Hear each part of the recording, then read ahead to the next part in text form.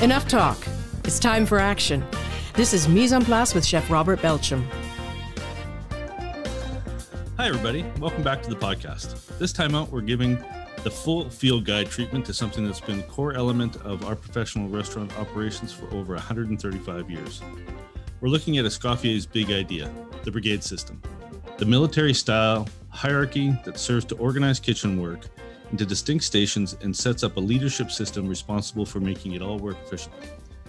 For a lot of reasons, which we'll talk about with our guests today, the ongoing need for this foundational piece of modern restaurant culture is being questioned, mostly at its value and relevance to the state of our industry in 2021. But can we overhaul it, or should we simply replace it? Are there any viable alternatives? Just a few of the questions I'll put to author Michael Ruhlman, chef and educator Julian Bond, industry activist Hassel Aviles, and chef and operator Dave Gunawan. Grab your hat and we'll be right back.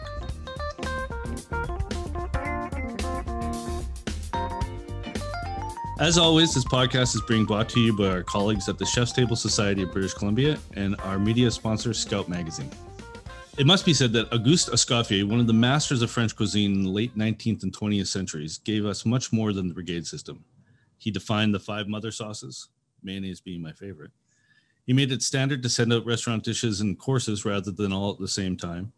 He also helped elevate the chef's role to that of a steward of local food systems, something's lost to convenience that many in this business are working hard to restore.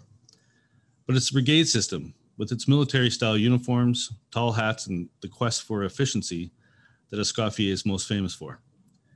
My first guest has spent a lot of his career in the company of famous and great chefs from around the world exploring what makes them tick and writing it all down in the books like The Making of a Chef, The Soul of a Chef, and the famous French Laundry Cookbook. Michael Ruhlman is back on the podcast today and joins us from his Rhode Island home. Michael, how are you enjoying the reopening of America? It's great to go out. It's great to you know to go out and eat. But I think the biggest thing that I love most is that um, we can have people in, friends in, and yeah, exactly. when they enter your home. And it's just such a pleasure uh, that we took for granted for so long.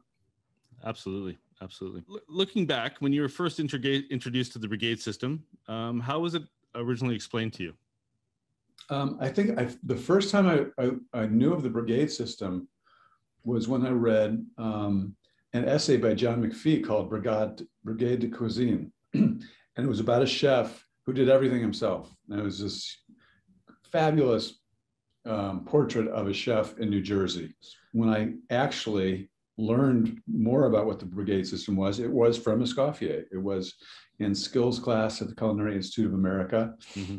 Um, and re- just reading there um, that that um, Escoffier, Auguste Escoffier, had created a system called the brigade system, in which everybody played a role. There was a poissonnier who did the fish. There was a um, saucier. There was uh, chef de partie, which is sort of an all-purpose chef. Um, and that's when I learned about it because we were learning to be cooks. Yeah. Yep. When when you were um, of the many kitchens that you've you know you've been in so many kitchens over your career, writing for so many chefs, seeing so many different styles of how things are done. Have you seen any kitchen have you been in a part of any kitchen or been in any kitchen that sort of epitomized what the best of the brigade system is? Um, yeah I, I, I always have to go back to the french laundry because that's you know i went from the cia the the, the sort of like a i didn't even graduate um, but like a graduate at that level. And then i was suddenly thrust into the most important kitchen in the world at the time. Mm-hmm. this was 1997 um, and there was a poissonnier, there was a garde manger, there was uh, a guy on meat, there was a guy on pastry. But everybody had their job, and and it works. Um, and what Thomas did, and what he, Thomas always does, Thomas Keller, the chef um, owner of the French Laundry, he enhances and makes that system better. At Per Se, his restaurant in New York, he's all these people have their same stations, but they have all the stuff they need at their stations. They've got low boys and coolers at their stations. Um, they have every. They don't need to leave their station. They don't have to go to a walk-in. Um, so it makes everybody super efficient and super in charge, really the chef of their station. Right. Um, so it's uh, it works really well. Yeah. Have you seen in your time as well? Have you seen a sort of a flip side? Some a, a, a, what a kitchen that is run sort of not in the traditional brigade way, but still runs very efficiently and still runs very well. Have you ever seen I, something like that? I haven't. It would it would take an extraordinary kitchen I mean, again, again, Tom, Thomas kind of envisioned that once when we were when I was writing the cookbook, the French Laundry cookbook. He envisioned an ideal kitchen where you'd have eight cooks and you just come in and you cook whatever you want and you'd serve whatever you had and whatever you felt like. Mm-hmm. Um, I don't know if that's ever po- if that's possible, but um, it was a nice idea. But again, it was created for efficiency and it works. Um, and I haven't seen it. I mean, have you? Well, that, that's we've been t- chatting about this all morning. Is that's the thing is I I don't know of a better system, and I've never seen a better system that works because it's a high it's a classic hierarchical system that's sort of seen throughout every business or even society that's ever been around, and it's even in the animal kingdom. So I don't really understand. I, understand why there's some there's some obviously some bad parts about it and some things that need to change but, but I, th- I think that the, the system itself doesn't need to change. I think it's the, the, the management styles or how people are treated within that system that need to maybe evolve and change a bit. So that's that's what you would say is the downside of this. What, yeah. what is the downside to you? To your mind, what is the downside of the brigade system? You know, the way the industry is right now, it's very uh, difficult to find very good cooks. It's difficult to keep those cooks engaged and happy in just the way the hospitality industry is right now. So that it tends to lead to this bad managerial style that becomes toxic and it can become detrimental. And the old school idea of throwing a pot at somebody or burning them with a spoon has to change. It has to go away. And I was part of that system. Um, you know, people getting beat up in the walk-in and or you know body slammed against the wall, you know, next to their station because they weren't doing things exactly right. How do we change that mentality but keep that brigade system going? How is that possible? I don't think the brigade system is responsible for that kind of behavior. I think that kind of behavior was just endemic to the work, and it and it and uh, I don't know why it became that way, but I mean, yeah. it was it was it was brutal. You ask any any chef who came of age before the 1990s, um, they will have experienced that kind of sadistic behavior, that kind of un- ultimately unprofessional sadistic behavior. Yeah. Uh, and you're right. It's it's it's it's harmful to the process of cooking and getting your work done. Um, I think that really started to change in the in the mid 1900 um, mid 1990s, and I think it's just gotten better and better as you know as people demanded more respect in the kitchen, as more women entered the kitchen.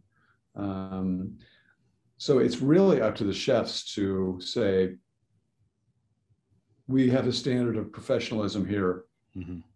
And if you don't, if you don't maintain it, you're fired. Right. How do you think that that um, more chefs can be, you know, tuned into that idea of this of professionalism that is that is it's a professional workplace it's a professional environment and that the bravado and the dick swinging and the you know the smashing of plates and all of the temper tantrums of of yesteryear can can finally go away. Is is is there something that can be taught in culinary school? Is there definitely in culinary schools uh, that's one place to to do it. I just think it's common sense it's becoming more and more common sense um, and smarter people are running kitchens now that you know face it a, a lot of people worked in kitchens in the days of yesterday like way back weren't all that bright. Um, they, they, were knuckleheads and myself included. Um, yes i put myself in that same category as well. Um, but again i think it's a matter of um, common sense the general ethos of our day, which is which is becoming more and more fair and equitable to all people, also, I mean, media is coming out and writing about chefs who are abusive. Uh, yeah. So that gets, I mean, that just doesn't fly anymore. I, I, exactly. I don't think it should, and I think that's one of the things. Well, that's why we're talking about this today. Is like the more that the more that chefs talk about it, the more people who are in the industry or on the periphery of the industry talk about it, the better it better it will be for everybody within the industry because you know you, you you put you put a little bit of light on anything and it's gonna it's gonna make it better you know just the way mm-hmm. it is you know the you've been you, you talked about the french laundry you talked about per se they're, they're probably some of the most innovative kitchens uh, in the world today uh, you know what, what do you think it is that makes those places work so well um, I know, you know, I was at the French Laundry as well. You know, every place has its good days and its bad days, but what is what is it that what's the je ne sais quoi? What is it the the the the, the bit of the piece that makes those places work the way they do? Um, ultimately, it's the chef who's in charge. It's his it's his mindset that trickles down, and I've seen this in in every business, not just kitchens. It's the the head of the kitchen, the executive chef, and what he allows and does not allow. It's it's it really is up to uh, greatly influenced by a single person. Right. Uh, and then everyone following him all the way down from his sous chefs to uh, all the other sh- members of the brigade. Yeah. So we, you know, we talked about the hierarchical system of, of the kitchen, how it works, chef on down. Do you think that there's a, a, a way to make a kitchen more democratic for where the where different members of the brigade have more of a say in what happens on the day to day? No, I don't. Uh, it's it's a good it's a great question because um, there are two parts to it. One is a functioning, efficient kitchen. Um, one, I think what you're really trying to get at is um, equal rights and equality of opportunity um, and equality of, of treatment, that everyone's treated the same with the same respect um, and the same veneration and the same um, you know, again, respect and courtesy as you expect. So, but this is not a democratic system. It can't be. It's a it's a kingdom, mm-hmm. uh, and the king is the chef and works his way all the way down. Now it's up to that chef to make sure that even the um, even the, the dishwashers are treated with enormous respect and have opportunity and have input and can speak their minds. Um, and and that's but that's a different thing from a hierarchical hierarchical brigade system well michael that's it. Thank you so much for your your time today. Really appreciate your perspective on on this uh, important topic. And uh, you know we hope to chat with you soon. Anytime. Always always a pleasure to talk. Thanks so much.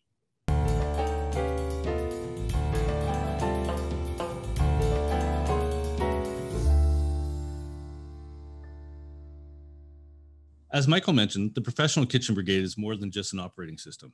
It's been the heart of the education, training, and mentoring process for cooks, starting at culinary school and on through to the workplace. Someone who's probably forgotten more than most cooks will even know about all of this is a longtime member of the Chef's Table Society and one of the most respected culinary educators in our country. Here now from his Vancouver home, with his well traveled perspective, is Julian Bond. Julian, do you remember your first experience with the brigade system? I would start my career probably at my first real cooking job. You know, you get away from the experience jobs and the ones where um, you're starting to look at food and how food is prepared and made, and you're going into a restaurant environment where um, split shifts and uh, you're doing the lunch service and the dinner service, and you got those couple of hours off in the afternoon.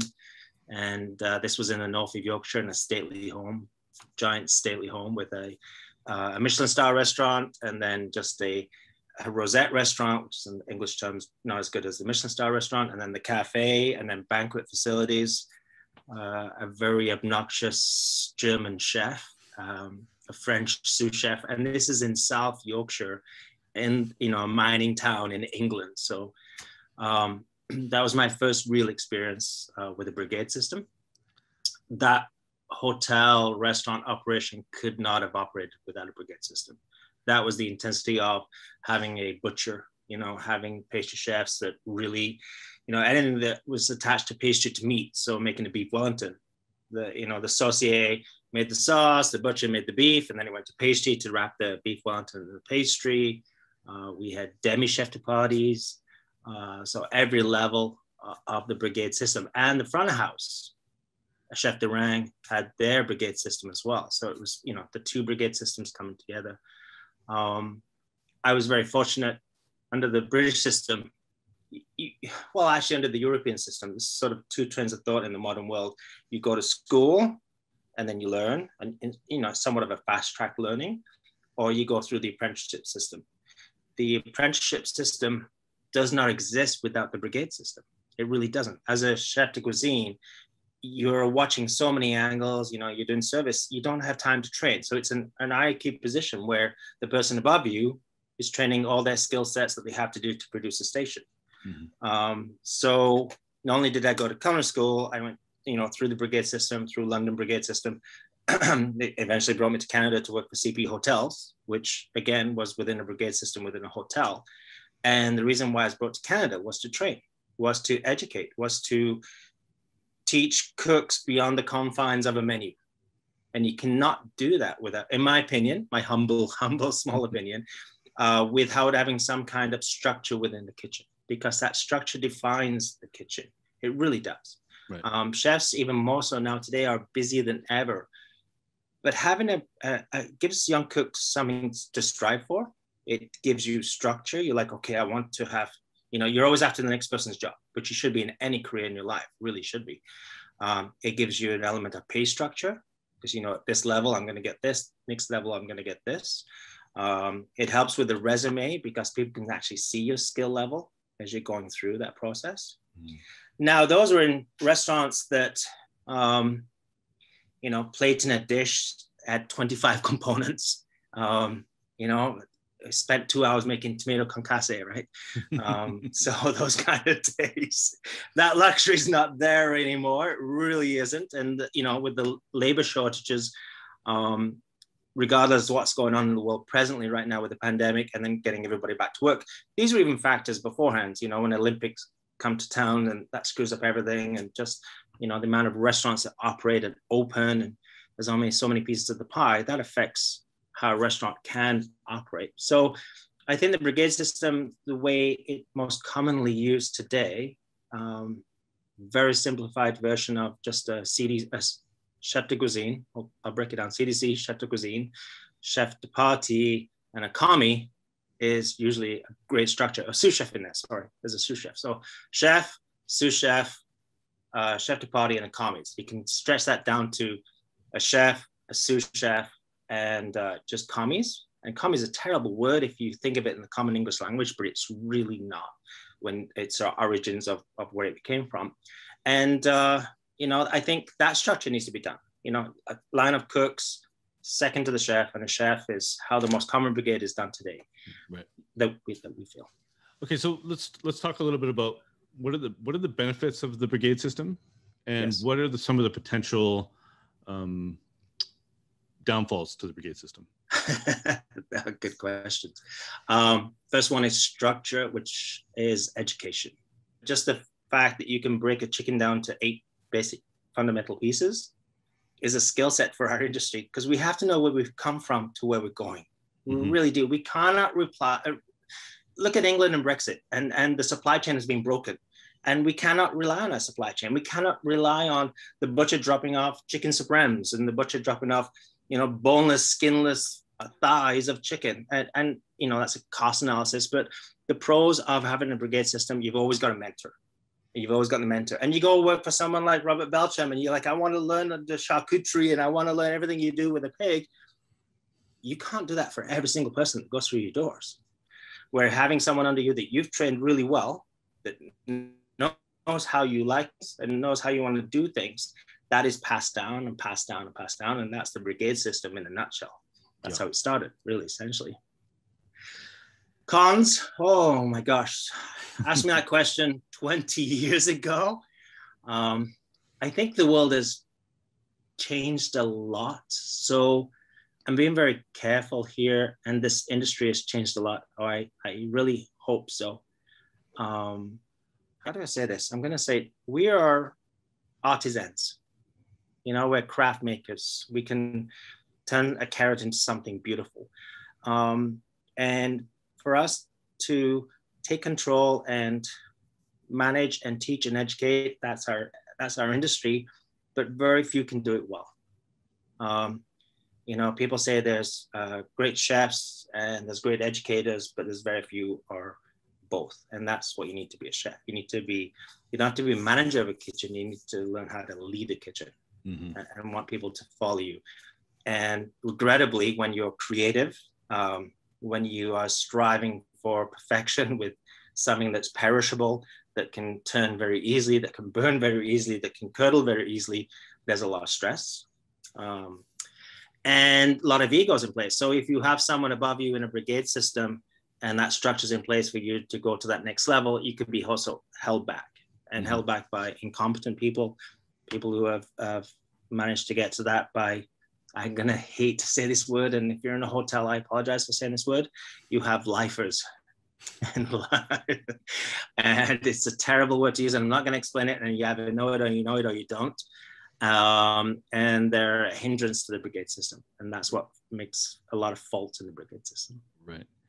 Now, there's a there's a lot of people talking today, uh, well, not, not just on this podcast, but just in general, talking about how the way people are treated within the brigade system is a result of the power structure within the brigade system. Now, do you think that that's something that's that's changed over the years? Like, is that where does that where does that idea that you can uh, treat people like shit because they're underneath you? Where does that idea come from? Just because you're the chef or the sous chef? I had a, uh, this was two weeks ago, I had a conversation with a uh, very popular Vancouver chef who I think has got a reputation of being one of the hottest chefs uh, in the city. And he brought out um, one of my past students who was a student at the school and she's been working for the chef for three years now. And he'll come across as one of the scariest human beings on the planet. The way he was bringing out uh, this young student and how she's a tour de force in his kitchen. And she learned to put her head down, learn how, you know, it's just trying to strive for perfection and good cooking skills. It's just how you read that body language. It really, really is. Um, and what that chef is striving to do. Now, you know, this, I make no apologies for a chef not saying thank you, not saying, uh, oh my God, can you please go? And I'm not going to swear, but you know, it's like, you know, swearing is common and, and the it can be taken, it can be taken very badly. It really can. And that, that body language can be taken very, you know, extremely the wrong way. Mm-hmm. But we're starting to learn to, to breathe it's changing. It really, really, really is changing. So even going back to the chef who has a you know reputation of being a hard ass, he's there to nurture and grow and develop. And there was this young, young, young cook. She's three years in the industry, uh, female as well, and he just so proud to showcase her to me when I was coming for dinner. So proud to see how well she's grown to come. And you know, she got past those fears of saying, "Oh my gosh, he's gonna swear, he's gonna scream, he's gonna." throw pots. We don't throw pots at people anymore. We used to. You know, if something was bad, I've had many a pot thrown at me. I've had clogs because in Europe we have those big wooden clogs. I've been hit on the head many, many times. And I'm not making excuses for those chefs. I learned a lot. And so I'm forever grateful. I have no bad animosity to all my chefs because I was there to learn and grow and create. But in the modern world today, I'm so thankful that we can, because uh, it's affected my life personally as well, that um, we are able to look at human beings as human beings and talk and actually have a real talk. And, you know, knowing the fact that you can go to a chef, I hope you can go to a chef and say, Chef, can I have five minutes? Uh, before that would be really impossible. I think right now we're living in a society where we can we can do that. And, uh, you can say, I hope a chef being a leader can ask someone, "Are you okay?" Right. I talk a lot. I'm so sorry. No, no, no. It's great. Just let you go. It's like, why? um, I, we both know that there are so many young cooks out there who are becoming chefs, maybe before they're ready to become chefs, just because of you know staff shortages and because so many restaurants are opening. What piece of advice would you give to those young cooks who are making that next step to becoming a chef on on best piece of managerial advice you could give somebody to to make their brigade system work in the way you're talking about? the, uh, I'm going to say this, and I don't know how it's going to come across, and I really, really don't. Um, so I'm just going to say it and see if I get in trouble. But um, whether I'm running a school, uh, running a business, and, and whether it's someone in administration or a young cook, I have um, whether it's a finished dish or a project, I know what the end result's going to look like. My ultimate goal is to make whoever's working with me on the team let them think it's their idea to be part of that process to be part of getting to the end. Speaking to that do you think that there's room for democracy or like a sort of a collective voice in the kitchen when it comes to say menu development or how things are run? Do you think that that's a possibility? A great example of how democracy can work in a kitchen um, is you look at uh, um, I'm going to name a restaurant. I don't like doing that, but I'm going to name a restaurant. Is Andrea Burdock and Co. And you'll see there's a little bit of a team in every single part of it. It's only five dishes, but those five dishes have a little bit of a team in each one. Mm-hmm. Do you know what I mean? And that is that menu is built every week, and that's very difficult to build a menu every week. But that shows how it can be done when you are building a new menu every single week. Do you think uh, that's scalable? Well, like, do you, do you that's very that... difficult. That was going to be my next statement. No. Oh, okay. Yeah. Absolutely not. It's it's it's because then you're talking about dollars, and when you're operating in a business that's on pennies, um, it's very very difficult to do that. It really really is. Um, you know, everybody talks about farm to table, which you know not everybody does successfully. Um, everybody talks, you know, about the bottom line, the dollars, the cost of labor, the cost of the minimum wage. Um, that really affects how a menu is operated in a lot of places and and they change and so should we change the brigade system? Is that something that we need to do? Does the, the brigade system need to evolve? I think the thing is restaurants have evolved hotels have evolved. You know you see a new hotel now that opens it has no banqueting features. Sorry i'm my computer.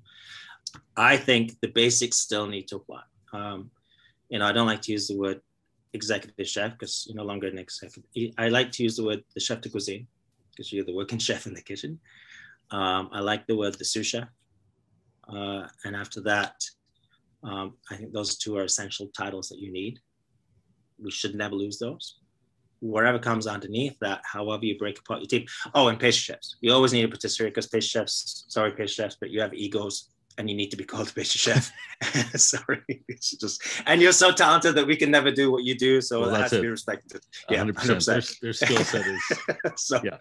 yeah, that title still has to exist. Um, but other than that, I, I, uh, you know, uh, it all evolves on how we evolve the hospitality industry, how we evolve menus, and uh, I just hope that we do write menus with the idea of you know, I, I, come from an education background now, more so than than anything else, and that we are passing on our craft. And as much as we write a menu, we are still throwing elements in there that we can pass on and you know teach cooks and buy ducks and then use the breast as a smoke and do a confit. Nothing wrong with that at all. And it, the confit you can preserve and it, you're not losing any dollars, but you're giving a skill to a young cook. Do you, yeah. do you know what I mean? And writing menus that way is all I agree. That's all I want in life. Yeah. Julian Bond, Always a pleasure to chat with you, my friend. my pleasure, sir. Really a chef.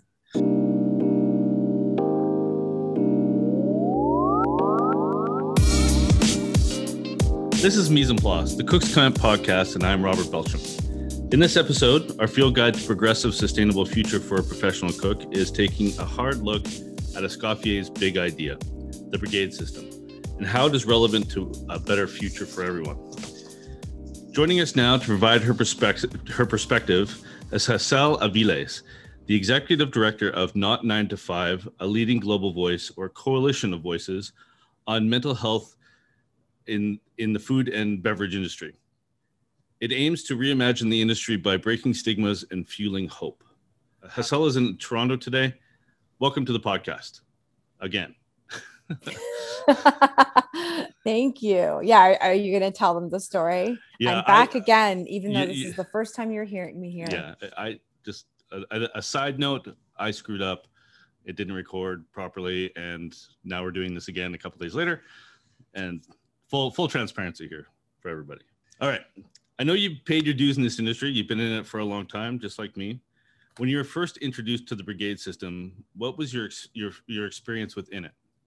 From I mean, you know what? I was introduced to it from the beginning. So the very first day I entered into this industry, I was a host and I believe it's everywhere. You know, I think a lot of times we have this misconception that the brigade system only exists in the kitchen, um, but I really don't believe that to be true. I believe its influence seeps out of the kitchen as well, mm-hmm. and you know, reaches so far as the bar and the door. You know, as a host, um, I was 17 years old and I entered into this industry, you know, being drawn to it because of culinary experience and I just love food and anything to do with food.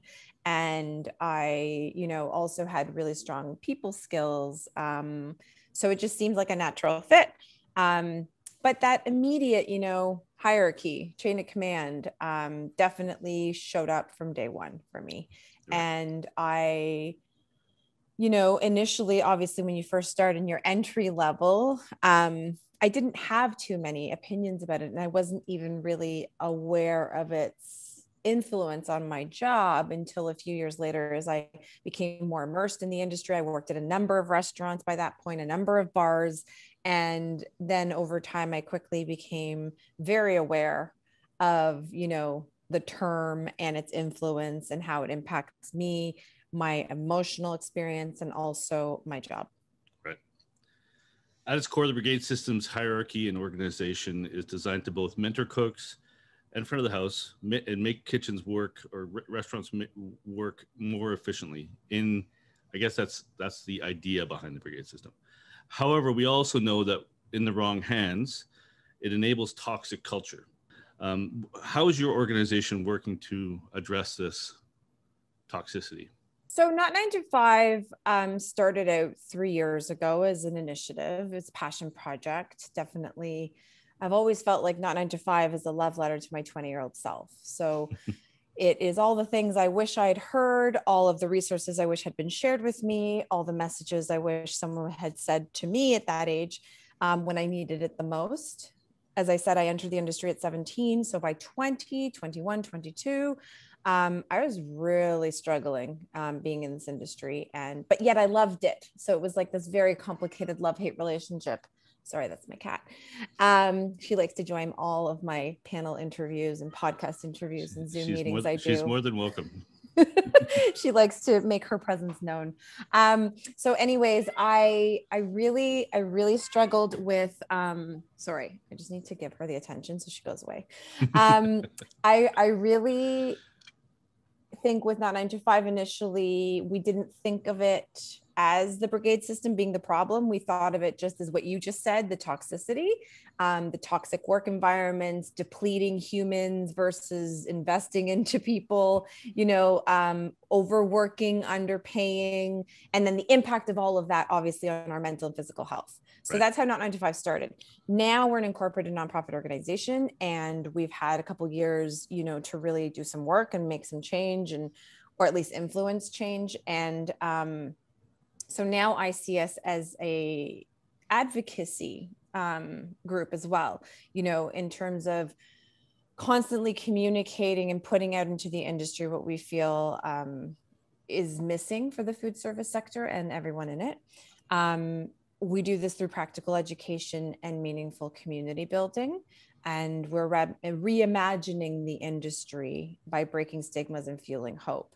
So I, I read that to you because for me, part of this reimagining of the industry mm-hmm. is not just getting rid of toxicity, but also the source of mm-hmm. the toxicity. Right. So for me, one of the sources of the toxic work environments is the brigade system. Right. Obviously, in a workplace, there's absolutely nothing wrong with you know authority, responsibility, and function. Um, in doses. It can't all just be led by that. And for me, also, when you put the number one focus and priority on efficiency, you're no longer caring about the emotional experience that this all has on humans. And I was constantly told, I remember, and, and I'm not just me, obviously, I heard this repeated throughout every place I worked in to check your stuff at the door, check your emotions at the door, check your shit at the door, check basically your humanity at the door. Mm-hmm. And so when you're asking people to show up in a workplace and not allow them to be human, um, what happens is this repression and suppression of emotions um, ends up having really severe negative consequences to your mental and physical health. Um, why the other reason why I don't believe the brigade system belongs in our industry is that it comes from a military hierarchy and that chain of command in the military, you know, that strict chain of command with, um, you know, absolutely no room for questioning things or challenging the status quo um, what that what what pr- the problem the biggest biggest problem that you get from that outside of what i've already outlined is that you miss out on innovation learning creativity and most importantly psychological safety right. and so for me that's why i personally and although i may lose some fans here i believe that the brigade system has to go right. um, because I think that the absolutely most important thing in any workplace is psychological safety. Right. And, and I 100% agree with you. And the idea of, of the, the this toxic culture that's per, per, permeated the industry for so long, I, I came up with it. You came up with it. Every chef I know has come up with it. Is there, but the, the, the idea of changing the brigade system or just throwing it out uh, completely um, is very difficult for a lot of chefs to, or even restaurant owners and managers to sort of comprehend. Because then what do you, what do you, what do you put in its place? So, do you have an idea of what the best way to either evolve the brigade system to make it something better, or is there a better system that you've seen or or put into practice yourself? Yeah, I love this. I mean, I feel like in our first interview, Robert, you were much more combative against this idea of abolishing the brigade system. And I kind of appreciated that thoughtful, respectful disagreement because to me, that is psychological safety, right? Being able to give and receive feedback, being able to respectfully and thoughtfully disagree with each other mm-hmm. is what's missing in the brigade system, right? And so uh, you and I role playing that out and actually disagreeing with each other, I feel is fundamentally important for this episode, right? And I think for you to defend the brigade or not defend, but like want to maintain aspects of it, I think is really important. And I really, really respect that. I think that that is a realistic approach because you're right. People grew up with this you can't just make a change from one day to the next, right? You can't just ask people to get rid of something that they've maintained for decades and centuries. Right. Um, so I really appreciate that question. And I do think what we came to last time is a really good solution, which is, you know, some sort of hybrid. Yeah, Brigade um, System 2.0, if I remember correctly. That's it. Yeah. That's what you called it. Yeah, I yeah. personally almost think you need to rename it. You know, I almost think you need to rename it because it no longer is the brigade system. Um, but what I do think is a system, or I guess principles and and um, yeah, principles that you need to adopt into any workplace um, to me are all wrapped around psychological safety. So right. if anyone's listening, they're like, what in the world is psychological safety? I don't know what she's talking about. That seems like some fancy, you know, corporate term or academia term, you're not wrong.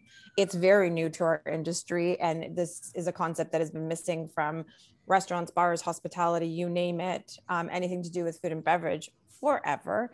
Um, it's the belief that one will not be punished or humiliated for speaking up with ideas, questions, concerns, or mistakes.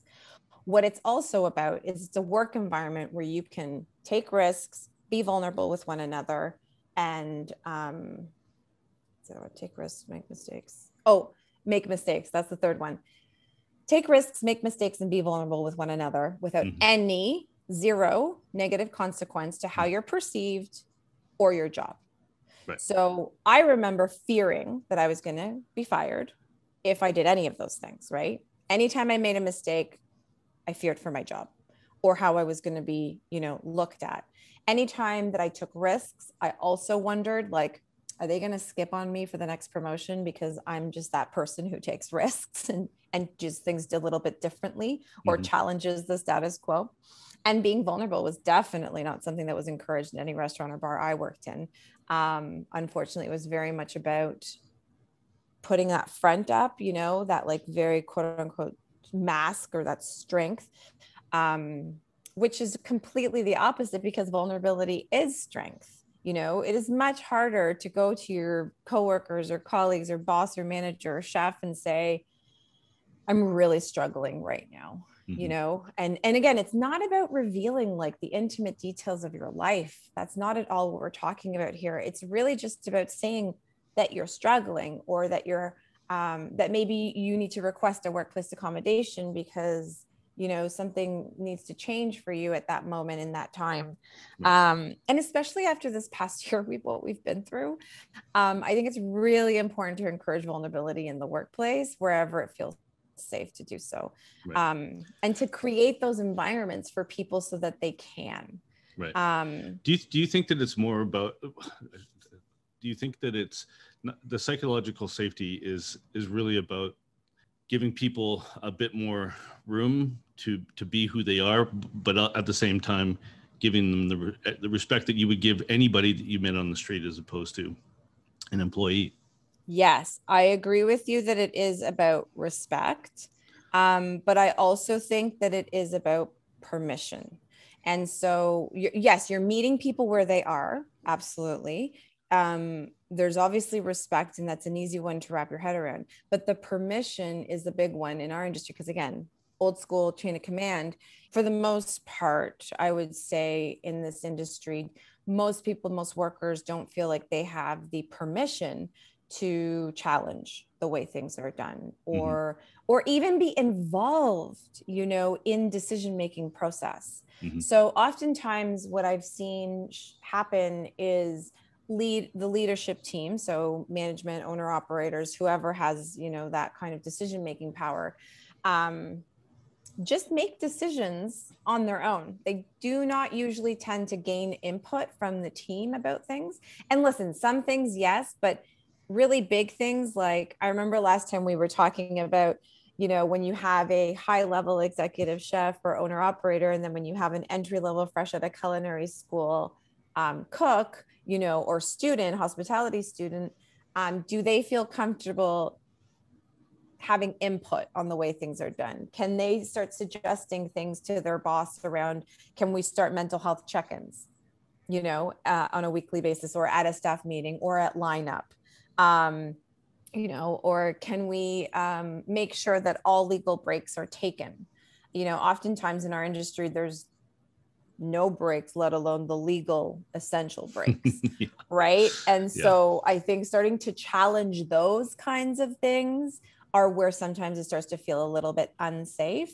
Um, and i think it's really easy to be like hey chef i think we should label things differently in the walk-in. That's really different right? Like that feels a lot more safe to do. Um, but you know there isn't like um, a one size fits all because that's the thing with this industry is it's so vast.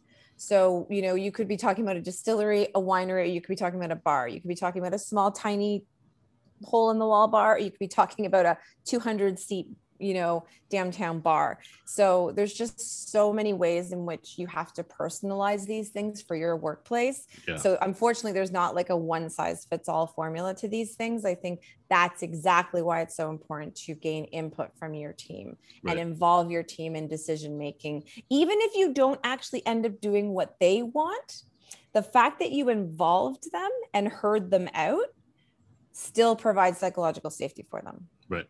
Again, I think it's going back to, and I'm going to challenge you again. Is I don't think it's necessarily the brigade system. I think it's the the manager, the managerial style of the the the environment that the people are in. The best managers I've ever worked with and and know always they they challenge people in a in a positive way to bring out the best in them, but also in but also invite them back into the idea that th- what they have to say is important and that they're what they what they have to say and what they're doing has massive amounts of value to the kitchen or the environment that they're working in. There's a massive disconnect between this idea that um, the brigade like the, the the the system itself is broken. I think it's the the people within the system haven't been trained properly or that's the problem. People are thrown into managerial positions without proper training or and they just don't know what to do or how to treat people and, and when they have power it's sort of well power corrupts right power corrupts absolutely so So it's interesting that you say that. I think that's a really valid point. I think highlighting the fact that so many people that are thrown into positions of leadership are it's done so without that adequate training. Um, so that speaks to a couple other things. You know, when you put people in roles without adequate training or adequate compensation or adequate um, praise or appreciation, then you're also setting them up for failure. Mm-hmm. Um, and you're also setting them up for burnout. Even with adequate training, though, and even with management style, again, arguing back, I still believe that part of it is systemic. So I don't believe in blaming the individual per se. Um, I do believe that it is a system of efficiency that does not focus on the emotional and human experience of the people within the system. Mm-hmm. Um, so for me, it is a systemic issue because as soon as someone tries to slow things down and address things, um, it, that becomes very uncomfortable and unnatural to the system and so it tries to shut that down and you know keep moving forward another chef or a restaurant owner listening to this how would you deal with that idea of stopping and starting again or, or slowing down to be able to deal with an deal with an issue when you're in the middle of a of a rush of 200 guests in your totally. And I agree night. with you. I agree with you. That's obviously not the time. Also, emotions tend to run high. So then that's when you see, unfortunately, oftentimes in kitchens, physical assaults, you know, mm-hmm. violence comes up, aggression shows up, like all these things come to the party, and you don't want those things, obviously, in the middle of a service. So anytime agreed anytime or yeah. anytime or yeah, anytime yeah, but particularly Absolutely. not in the middle of a service when you also have guests and and you know uh, you're trying to run a business. So like yes. I understand that. I, used yep. to own a restaurant. I fully understand that. Um, where I'm going with this is how you buffer around service, right? So again, I mentioned earlier lineup or staff meetings, um, mental health check-ins, um, creating things outside of service because you know services like that. We know services like that. I've worked service forever. You've worked service forever. We know that we can't change that. That's a beast that that's going to exist and we love it you know? There's a yeah. very much a high you get from it. It's a love hate um, relationship it's sure. a love exactly it's a love hate relationship. So quick ways to address that are before and or after service Right. Because uh, I just want to highlight this for anyone listening who owns a restaurant or a bar and you're listening to all this and being like, this is so different from the way I'm running things currently. I'm here to acknowledge that, like, of course it is, because all of this is very new to our industry. So, number one, take it slow, acknowledge that you're going to make mistakes because this is new to everyone. This is new to literally our entire industry as a whole. Um, you know and and when you acknowledge these things and you say as a leadership as someone who's in leadership to your you know teammate um, i want to talk about this thing that happened but i'm going to tell you like this is hard for me to talk about. And so if the, if i say the wrong word like just bear with me. I'm just i'm trying to work through it myself. I think saying things like that immediately sets the tone for people to kind of exhale. You know what I mean? Mm-hmm. Instead of having this like heated discussion where everyone's like on edge and trying to get it perfect or be so afraid to say the wrong thing, it's always better to say something, even if you make a mistake, than to say nothing at all. Well, that's a great place. To, I think that's a great place to end it. So, I again, I really appreciate your time today. I hope to actually chat with you face to face one day. Same. Thanks for having me again, Robert. Have All a right. lovely day.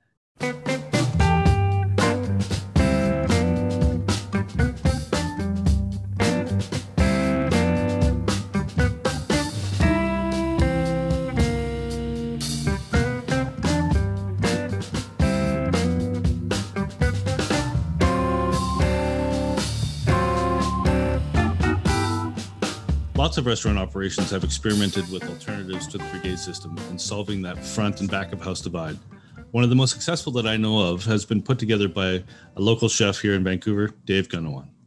Originally from Singapore, Dave moved to Chicago and, and started a restaurant career that's passed through some of the top kitchens in Vancouver, Belgium, Denmark, France, and beyond. In 2013, Dave opened his first restaurant, The Farmer's Apprentice which showcased his commitment to community based menus and operations. He was named the Chef of the Year in the 2016 Vancouver Magazine Restaurant Awards. But another standout of that operation was its collaborative staffing model, with most every team member handling both kitchen and service roles as needed. Dave has evolved that approach at the Ubuntu Canteen, where he's listed uh, his role as project manager. It's my pleasure to welcome Dave Gunawan to the podcast. Thank you, Chef. It's good to be here. Thanks for the invite. Of course, of course. Yeah. All right, let me take you uh, back a few years. Uh, I know that that like me, most of our uh, our colleagues, you paid your dues in the white jacket in the traditional brigade system in kitchens around the world. Mm-hmm. But when you opened Farmer's Apprentice, you did more than install a local seasonal menu. You installed a new approach to the restaurant team. Where did that idea come from, and what mo- motivated you to try it? Well, it's scarcity, really. You know, like with with with, with limited resource, we had to, to think of alternative ideas. And you know, having been through several restaurants in Europe, it, it really sort of inspired me to to think about alternative. Um, mainly uh, rethinking about what hospitality means and what uh, is really essential and not opulent. You know, um, obviously we've all worked in fine dining restaurant where resources weren't necessarily uh, an issue.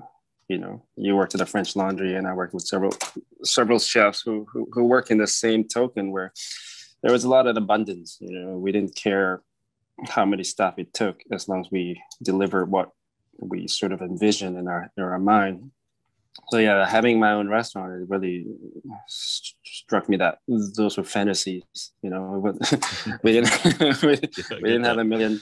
Yeah, we didn't have a million dollars to open a kitchen. Uh, so we we had you know four burners and all electric stove top and and, and like we very minimal resources and, and really thought about how can we convey what we wanted to convey without the unnecessary stuff. So, mm-hmm. you know, how can we devote more resources in the kitchen and having less front of house and, and with the premise that the, the, back of the house are willing to take on some of the some of that role you know and and deliver hospitality in general. So really questioning about the essential of hospitality. What when when guests comes in what do you what do they want to experience you know and and how can we give them the same sort of welcome uh, you know as, as warm as as as the resources were available you know without without you know cutting a corner really. Yeah. So so we did that and and the model seemed to work you know and and obviously a lot of restructuring within the system of, of the of the brigade system uh, network.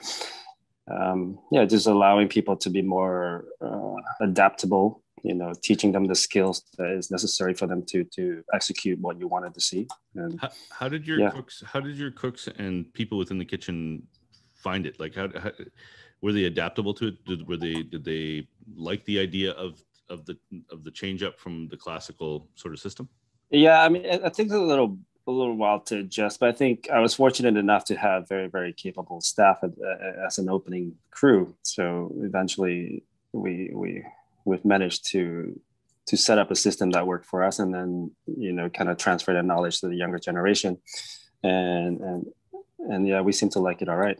And just because again we we, we allow them to see the, the the bigger picture and what we're trying to convey rather than like the myopic view of what's on the plate you know? So mm-hmm. allowing allowing them to see uh, collectively what we're trying to achieve and and the vision you know? And sharing that vision as well and and, and praising them where it needs to be yeah teaching them yeah. to, to, to see the whole picture as opposed to just what's in, in on their cutting board and what's on uh-huh. the plate yeah, uh-huh. i get that i want to talk to you a little bit more about your approach to make that work but first let me ask you our core question today do you think the brigade system the classical brigade system that we all know of from the time of escoffier do you think it's mm-hmm. still necessary in, in 2021 well, I think from an educational standpoint, given the circumstances, I, I, would love to have a brigade if if if I have the resources. You know, if, if it was uh, it was up to me, I would do the brigade all over again uh, because there was a structure to learning, there was a, a devotion to to the to the necessary requirement uh, how you learn. Uh, there was a lot of emphasis on on the foundation. Um, you know, uh, I, I learned through the brigade system. I think it was great. Um, again, only only when it's affordable, right? Like, you know, we can't really devote one one chef to to just working uh, a very particular set of skill or like a very particular focus on on say fish cookery, because we we we just don't have the capacity to to afford that. Right. You know. Yeah. but yeah, I think the brigade system is really, really done in a way that is uh, sort of structured, which which I love. And and again, if, if that was the the circumstances, I would totally do it all over again. Hmm. Let's get back to your staffing approach. First at Farmers Apprentice, and now at, at Ubuntu. Uh, what makes it work? Like what what uh, the, how you're how you're the focus on teaching your cooks every station or every aspect of the operation. Um, what makes that successful? Well, I think with Ubuntu, it's a, it's a very different approach. I think it's less so, it's, it's, a, it's a very devoted uh, commitment to, to being a mentor. Um, what it is, what, what it is, what is mentorship to me is, is really, you know, uh, cultivating their, their growth as both um, chef as well as human being. You know, uh, mm-hmm. we, we we tended their their their emotional well-being, their physical well-being very very carefully. You know, like just having this dialogue, communication, and just like building that relationship with between between each other. Um, you know, it's a lot of reciprocity. There's a lot of respect. You know, we again emphasizing on what the bigger picture entails and what the situation of, of the current environment is and, and allowing them to see how important their role is, you know, with even the simple act of sweeping and mopping, you know, and how how it is contributing to the bigger picture. And and really emphasizing a lot on, on their creativity and, and their freedom and their and their thought process. You know, we always have meetings, we, we have uh, a very democratic view on things and and yeah, we we it really empower them. Mm-hmm. Um, does it, does it, yeah. does, it a, a, does it take a specific type of cook or a person to want to work in an environment like that? I mean, some people just like to have their, you know, I, I just do I just do my widgets and that's all I do. Whereas you're asking these cooks to to have a, a sort of an all-encompassing view of the whole operation. Is it is it easier to find people who embrace that idea or is it more difficult? I think with the next generation, it's, it's a lot easier. And also, that's what they want. It's, it's not, you know, they want to participate in a change for the world. I mean, you look at all the, all the protests, you look at uh, environmental activists, they're all young people. You know, they're, they're, they're sort of frustrated with the current situation and, and how the previous generation has destroyed it for them.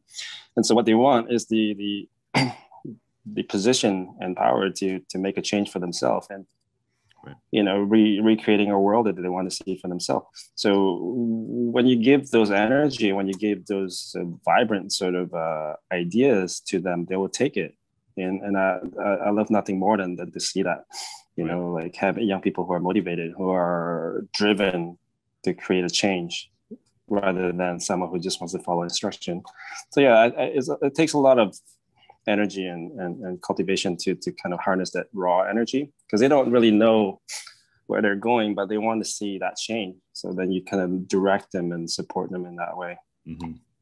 which is yeah. what's so great about Ubuntu because we're always changing according to who is uh, who's in charge. Right. Well, that's that sort of brings me to my next question. It's like, how do you mm-hmm. how do you come up with the the directives and like, do you collaborate on on which ways to go and how to take the, the cuisine or or which suppliers to use and how do you direct direct them during these meetings and things like that? How do you do that? How do i that's it's quite a it's quite an involved process to the from the outside.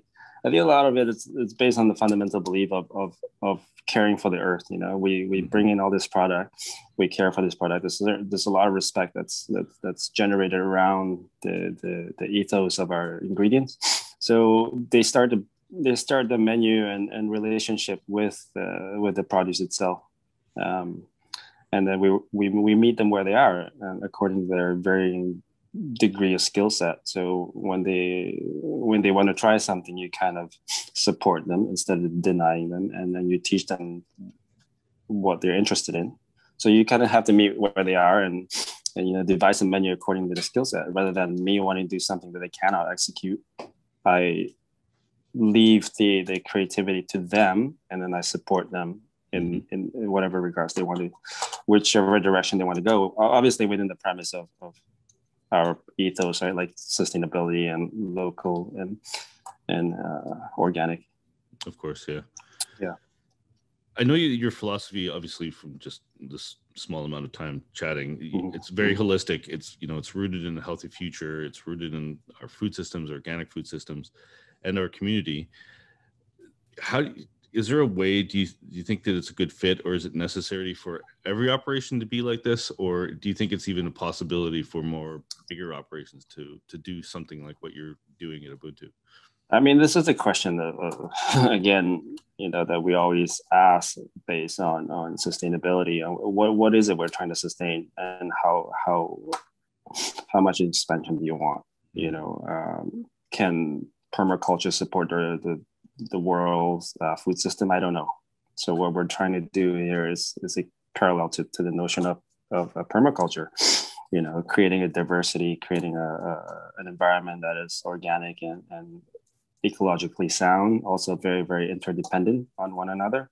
So every single species are, are, are, are functioning in the way that they should be according to their own role, according to their own uh, individual characteristics. So yeah, I don't, if, can it be expanded? Maybe. I mean, if I can find someone who, who who can dedicate their life to in the same way that I do, yeah, probably. Right, right, right. There are lots of restaurateurs, lots of chefs who who listen to this podcast. If you were going to give any piece of advice to anybody, any one of them or people in the future, to to sort of go towards this sort of staffing model, what would it be? I think it's gratitude, man. There's a lack of gratitude all around. You know, we we we as restaurateur, as owner, we don't really appreciate our staff more than they should be appreciated. Um, you know, just even saying a simple thank you and greeting them in the morning, I think that's more than you know most most restaurant could say. And Mhm. you know, just making sure they're well and, and their home life is as good as their work life, or even for me is more about 70 30 you know if their home life is good i'll take the 30% you know if they can devote 70% of their home life because like what good is it if they're sick and they cannot take care of themselves and having to come to work you know i yeah I, I, mean, I love your, your idea that it should be a holistic, uh, whole approach to not just work but to life as well. I mean, this is the the one of the things that that we that people have been talking about how the brigade system is toxic and that it can be you know very uh, a very bad working environment. But I think that uh, speaking with somebody like yourself, it's it's not necessarily the system that can be bad, but it's the management within that system that can that can become toxic and Mhm. not appre- not appreciative. yeah i mean it is it is the leadership right? Like it's not it's not the system necessarily itself. I mean you look at the prison system versus the school system they're both the same. I mean there, there's also a different type of school system. You have the waldorf school system you have the montessori school system and you have the conventional public system. And they all have the same intention but operating on a different scale. Right, right. and different level right it's, it's great. Dave, thank you so much for your time today. I really appreciate it. Uh, enlightening, um, uh, and I can't wait to come down and have another Danish. it sounds good thanks chef Thank you appreciate very it much, man. okay Bye-bye. cheers bye-bye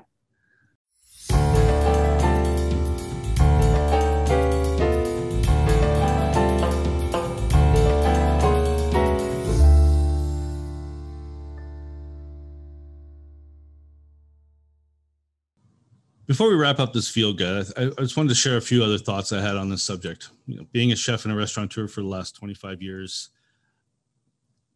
everybody had a really good perspective. Some people were for the brigade system, some people were obviously against the brigade system. But I think there needs to be an evolution moving forward that is bound in the in the brigade system, but also bound in this idea of mutual respect for all aspects, all people within your employ that's one of the biggest things I feel that is lacking in our industry today. This idea that cooks and people are disposable. We have to do everything we can as restaurant owners, as chefs, as managers to cultivate and grow the people who work below us. Um, they are team members, they're family, they become family members. And it's really, really important to understand that these people are the driving force behind your business.